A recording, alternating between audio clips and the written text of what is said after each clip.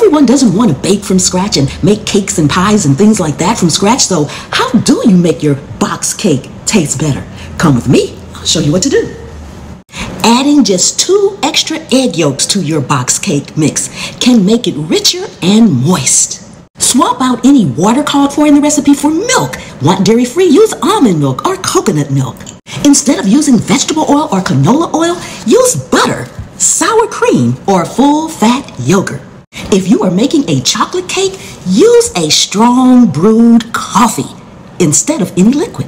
Box cake mix has powdered vanilla flavoring in it, so amp it up with your own extract. You can use vanilla, coconut, almond, or whatever flavor you want, and a teaspoon will do.